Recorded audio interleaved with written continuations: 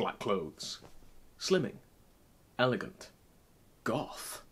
Really good for ninjas. But did medieval people make black clothes? Take a look at this manuscript. This is a 10th century Anglo Saxon calendar showing farm labourers wearing black shoes. Here's another one. This manuscript shows a king, possibly Alfred the Great, with his witan, his high council. They're all wearing lovely black booties as well. So, black shoes seem to be something popular, worn by Anglo Saxons in the 10th century, so in the 900s. In fact, we've got lots of black stuff in manuscripts from all the way through the medieval period, made using iron gall ink, which is a mixture of oak galls and iron salts mixed in water. And I'm going to make an in-depth video on the process of making iron gall ink, because I have just made some, but for now you should go over to Sunday Scriptorium's channel, because her calligraphy and her ink are gorgeous, and she plays the accordion, and sometimes she sells the ink, so what more could you possibly want? Um, highly recommend.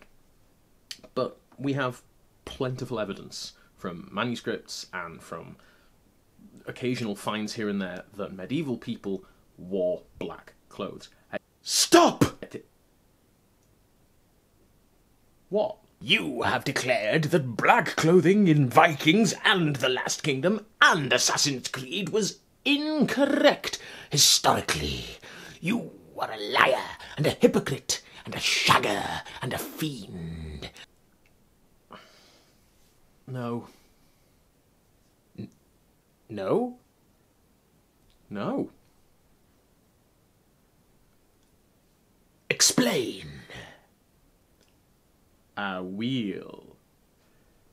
See, my problem with medieval black clothes isn't that people are wearing black in medieval programs. My problem with medieval clothes when they're black on TV shows is usually their fantasy. The other problem is early medieval black is way different to late medieval and early modern black. Let me try and explain what I mean. But first of all, I am indebted to Isabel Northwood of Isabel Northwood Costumes for her help researching this topic, especially with regards to the later medieval period. It's not really my area of expertise. Also, before I forget, shout out to Dawn Oldham for her really kind coffee donation. Thank you so much, Dawn. Your support is amazing, and it has been for months and months and months. You rock. I really appreciate it. You are incredibly generous. So, thank you very much indeed, once again. So, early medieval black clothes. Most of what we see of black in the early medieval period is these shoes, these boots that we see in manuscripts made with iron gall ink. And this stuff writes jet black. Even on modern paper, and especially on medieval vellum, you can get a brilliant, rich, dark black colour. It's not light fast, but because it's trapped between the pages of a book, it survives pretty well. This stuff that we make this ink from, this iron sulfate, basically reacts with the tannins in these oak galls to make this rich jet black colour. But can it be used to dye cloth? Well, yeah, it can. Really, really well, in fact, be used to dye cloth. It's fantastic as a dye stuff. I've been playing with this stuff for the last fortnight, trying to figure out if I can make black. I felt like a medieval alchemist trying to make gold from lead. And one of the ingredients of this, the iron sulfate, was actually an ingredient that alchemists used to try and turn lead into gold later in the medieval period. So I've literally been doing medieval alchemy. It's amazing. But what I have found, and this is something that's been echoed in loads of places, uh, a chap called Guthrie has a blog called Distillatio, which I will link to in the description, where he tries to dye black using these oak galls, using this iron gall technique. And the ingredients for it are known right the way back to the Assyrians in Ashurbanipal II's reign in 600 and something BC. So the ingredients are there. But it doesn't make black. Uh, it doesn't make, like, black, black. It makes. Uh, take a look. This is what I've got. This I'll, I'll put a little sample. Uh, take a look at what I've got. This is the stuff that I have been working on, which editing Jimmy should hopefully have nicely spliced in. So as you can see, the background here is the white wool that I made my teeny tiny tunics out of. It's just an old wool blanket. It's potentially been bleached white at some point whilst they were producing it. I don't know how it was treated. Um, I've given it a damn good scrubbing. I've also got some loom state wool here, which I have uh, checked. It has not been washed or treated uh, beyond having a bit of a rinse of water. I've also got some linen here, which is loom state, so that's as it came off the loom. I've also got some other stuff, and we'll talk about that in a second. But as you can see, I got greys. These greys are without the iron sulfate. That's just the tannin from the oak galls. Okay. Underneath that, you've got the iron sulfate mixed with oak gall solution, and we've got a half-hour dye bath, a one-hour dye bath, a seven-hour dye bath, and then three or four, four separate dips for at least an hour over three days, and none of it has gone black. It's all gone grey. Now, if I had some really dark wool from a black sheep, which obviously isn't black, it's dark brown. If you ever looked at sheep wool from a sheep wool, if you've ever looked at wool from a black sheep, it's actually brown. But if I were to dye that with this, I reckon it would go super, super dark. On the other side of this sample sheet, we've got the leathers. So Guthrie's results on his blog call the colour that he achieved from this black enough. And that's what I've got here. It is a blue black. It's not pure black. And uh, editing Jimmy put a sample, of, a, a comparison between a modern black synthetic leather and my leather. So if you oil it, it goes a little darker. But that oil doesn't last long. It, it seeps into the leather, it feeds it, it dissipates, and then it goes to this sort of faded blue brown, blue black brown colour. So, we need to unpack this because this is getting a bit in depth. This recipe is known for ink in the 12th century. So in the 1100s, this recipe is known for ink using specifically iron sulfate, iron 2 sulfate, vitriol, it's called in medieval texts, green vitriol. The leather dye that I'm using is exactly the same as the ink recipe. And that is from the 16th century. That's from, I think, the 1550s, like 1558 or something like that. From a German recipe, I believe. So, if anyone out there can source me an earlier black leather dye recipe from a medieval source, throw it at me in the community tab. We've got a reading list there for sources of stuff like this. So if you've got a source like that, please throw it at me what this tells me, apart from the fact that this iron 2 sulfate was not industrially produced in Britain before the post medieval period, which I already knew, what this tells me is that you can make black leather, but that it will not look like a biker jacket. Get on with it. Okay, I'm, I'm trying to give them the background. So impatient. Nice eyeliner. I reckon that I've achieved early medieval black. By the high late medieval periods, especially by the 14th century and the 15th century, you see things like heraldry appearing, Burgundy becomes a big power in Western Europe. Their influence on fashion includes things like black becoming a really formal colour in court, so in royal courts. So at that point, black starts to become a fashionable colour. Prior to that, black's not really a fashionable colour. Things like blue from indigo, red, yellows, purple. These are all rich colours. Green is a rich colour because it involves over dyeing. So dyeing yellow and then dyeing blue, or vice versa. And if you want to get a better, richer black, you can dye using indigo and then over dye it with a cochineal red. So that's the red that the Queen's Guards tunics are made of, that kind of red. Or kermes. If you do that, with a load of alum as a mordant, you will get black.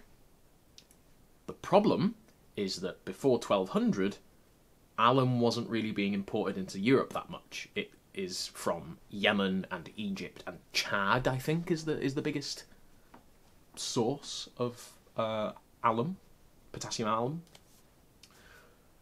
So, early medieval, but early medieval black when you look at it in manuscripts, you see these monks. They're almost always wearing either grey or brown, or they're just not coloured. Their clothes aren't coloured in. That's probably partly because the actual rule of St. Benedict, so these Benedictine monks, are following a rule that says don't worry about the shade of the wool that you make your clothes from, make your habit from the cheapest wool available, which is going to be undyed black sheep wool, because black sheep wool is more difficult to dye pretty colours. White wool takes colours easier. Brown wool, black sheep wool, much more difficult. So, the black friars, the black clothing that these monks are wearing, is black because it's from black sheep. But black sheep aren't black, they're brown. If you want to donate yards and yards and yards of richly dyed oak, gall, alum mordanted wool to your local monastery, then I'm sure they'd accept it. But black in the early medieval period is not light fast. Black in the early medieval period is expensive to make reliably. In fact, it's virtually impossible to achieve. But black in the later medieval period is doable, it's fashionable, but it is still expensive. So if you are a nobleman and you have the money to have your yards and yards of cloth over dyed, so dyed red, dyed black, dyed blue, then red, then yellow, and then mordanted with alum to get rid of the blue to make it black, go ahead. You probably would. But you're not a nobleman from Burgundy. You're one of the 99% of people in the medieval world who is struggling in their hovel. So get back to the harvest because the noblemen need to eat. Pathetic churl that you are. So we've got this 16th century black dye, and it makes a wonderful blue black colour. It does fade in the light. We've got this dark grey, and if we were to over dye madder and woad and weld with a load of alum, then yes, we could get black. But we don't know if anyone did that in the early medieval period. We certainly don't really have any evidence of that being done. If anyone can cite me a source, throw it in the community tab. In fact, if you have achieved a better black than this, especially on the linen, using this recipe, please do let us know in, once again, the tab or tag me in your Instagram post if you're natural dyer. Please, please, please do let us know because I would absolutely love to be able to achieve proper black black, but from the evidence available and from a lot of other people's experiments, it doesn't really seem to be a thing. All of which brings me back to you. Because I do get grumpy at people wearing black in TV shows that are set in the Viking period. And I know why they do it. They do it to make it look grim, and they do it to make it look dark, and they do it to make it look moody, to go with their nice black war paint. Sorry, makeup. Sorry, eyeliner. Whatever the hell it is. But black wasn't a fashionable colour, and it certainly wasn't the colour of the poor, the dark, the grim, the miserable. Les Miserables in the early medieval period were probably wearing uh, undyed brown clothes. And even then, dyeing clothes was incredibly common. Like, we've got huge numbers of finds of dyed cloth, dyed with nuts, and dyed with various plant dyes like madder and weld, especially weld. It's very, very common. So, that is problem one that I have with these TV shows is they're trying to make people look well, too grim. The other problem I have is that they're wearing synthetically dyed, industrially produced modern black, which is black. You just saw. You know, if you've ever seen a bike jacket, hell, if you've ever seen a pair of black jeans, you'll know that they're black. But just like a pair of black jeans always fades to grey, medieval blacks always faded. So, do I expect these shows to suddenly start making all of their black clothes using this natural dyeing process that I've just made in my back kitchen for like two pounds? No. Why on earth would I expect that from multi million pound budget TV and films? What I expect is people to come up to me at reenactments and say, Did they really dress like they dress in the Vikings? Did they really dress like they do in the Last Kingdom? Did they really dress like they do in the Tudors? And for me to have to say, no, that's just TV in Hollywood. And as a living historian and reenactor, it is a problem because it does seep into the public consciousness. People see these things and go, oh, that's a Viking. And it's just a bit of a bummer to people like me, and I know a lot of you guys who put loads and loads of effort into making their clothes look accurate, as accurate as possible. And if you look at the medieval dye stuffs that were available, they make incredible colours. They make a huge range of colours reds and pinks and purples and oranges and greens and yellows and chocolate and brown and and puce and it's a weird film. But they all fade. They fade in the light, they fade in the rain. If you wash them, they fade. And the short answer to all of this, the TLDR, is could medieval people make black clothes? Yes. After 1100, absolutely. And they were doing it more and more and more as it became more popular in court after the 14th century. In the 15th century, black is a popular court colour and it has specific uses in court. You use it for mourning. By the 16th and 17th century, you use it in your portraits. In the 17th century, it is your formal black clothing. Your blacks are your formal wear for religious ceremonies, for funerals. Which is why black, by the Victorian period, becomes kind of the formal colour. The mourning colour is a late medieval idea. Okay? in the early medieval period, and that is my main period that I reenact. So, prior to, in Britain, the Norman conquest of England in 1066, uh, Wales and Scotland were not conquered in 1066. Haha. Could they dye their clothes black? Kind of. They could get really dark clothes. They could get a browny black by using iron gall over dark wool you could over dye with madder and indigo, and you get a kind of bluey black colour. Again, if you use the iron gall and then over dye with those colours and you've had different results, please do tell me. But could they get black black? No. Jet black clothing I don't think was a thing in the Viking Age. I really don't. I wish it were. I wear black all the time. I mean, my standard uniform day to day is a black heavy metal band t shirt, black jeans, black boots, a black jumper, and a black hat. So I would I would love if the Vikings were the gothest creatures on earth, but they just weren't. They loved blue. Blue was blue and purple were their colours, their fashion colours. So there you have it. Thank you guys so much for indeed for watching. I hope you found this interesting. I really hope this was interesting to you. Again, please do share your experiments with natural dyeing. I love natural dye. Uh, I have never had so much fun experimenting with dye stuffs as I have trying to get this black. It's been really, really interesting, and now I've got bottles of ink in my kitchen. I need to buy some vellum. So thank you so much for watching. I hope you enjoyed. Diolch yn iawn am wylio.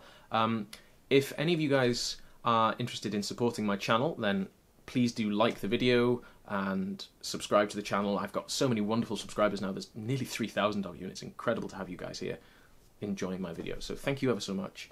Uh, I have a Ko-fi account if you would like to uh, support the channel in a tiny way financially. It helps to buy things like the iron sulfate and uh, the fabric that I'm using for these dye experiments. And I need a couple of new light bulbs for my lighting rig, uh, so feel free. Uh, so that's there if you are interested. So thank you once again ever so much. Diolch yn fawr iawn unwaith eto am wylio ac am dan ysgrifio. Um, dwi'n gobeithio na i weld chi i gyd wythnos nesa. I hope I see you all again next week.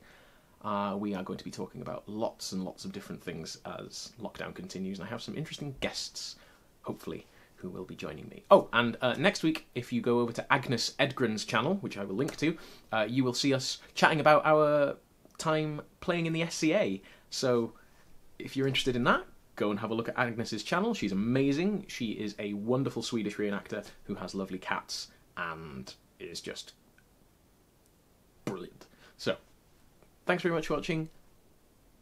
Am Bye for now. You probably should give him a couple of quid if you could afford it. I mean, he's doing quite a lot of research for these videos, and some people can be really nasty in the comments.